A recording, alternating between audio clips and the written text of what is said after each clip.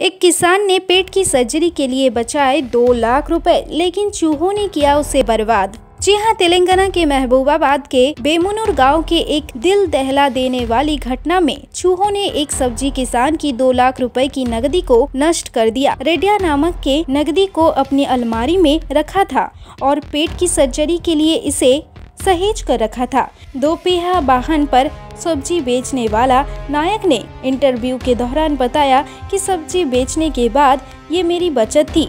मैंने नोटों को एक सूती बैग में रखा था। जब मैंने बैग खोला तो मैं ये देखकर चौंक गया कि पाँच सौ के सभी नोट चूहों द्वारा कुतर दिया गया है। सब्ज़ी किसान ने टीआरआई के हवाले से कहा था कि कटे हुए नोट मिलने के बाद नायक नोटों को बदलने के लिए कई स्थानीय बैंक में गए, लेकिन बैंक के अधिकारियों ने उन्हें नए नोट देने से इनकार कर दिया।